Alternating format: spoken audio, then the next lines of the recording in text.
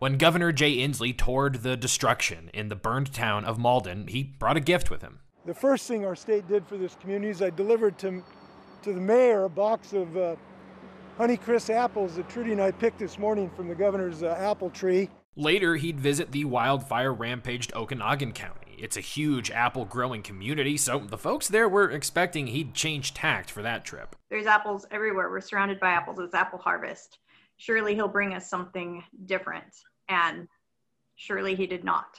So we were all kind of like, no, he didn't. Still, the gesture felt well intentioned, if tone deaf. But things got weird when people started to examine the fruit more closely. My son brought me the apple that I always crack the apples open, and it was like, oh my gosh, this is this is rotten. This is horrible. Nobody would eat this. The apples were filled with maggot larvae. Look here on specifically this one. See the dimpling effect?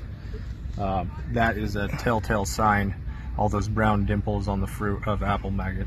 And the effect of these bugs is more than just grossing people out. It's dangerous to the region's critical apple crop. And that's exactly why Washington state has an apple quarantine law. You're not allowed to bring apples from any of the red areas on this map into any of the green ones. But that's just what Inslee did. You know, we rely heavily on export markets, and those export markets don't want apple maggot, you know, and they don't want it fruit coming in with it, you know, and so that's why we have apple maggot quarantine zones. We try to keep the apple maggot out of these areas that we grow, you know, tree fruit and specifically apples, um, so that our growers and our companies here in Washington can continue to grow that fruit and ship it. I mean, that's our economy. That's everything that we have here, and introducing a pest like that could be devastating. Luckily, local pest management was able to track down most of the rotten fruit, and although Inslee's actions are technically in violation of the law, violators are usually given a warning first before being fined, and that's what's happening here as well.